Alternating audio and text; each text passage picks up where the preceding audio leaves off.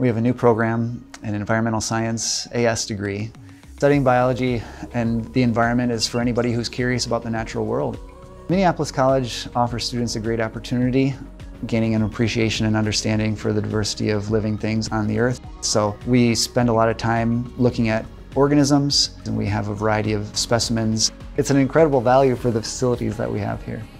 There are lots of possibilities. This will transfer directly into a four-year bachelor's degree program at Metro State University. One of the best things about being here is the interaction that students get with faculty members. And we want to help you get wherever you want to go.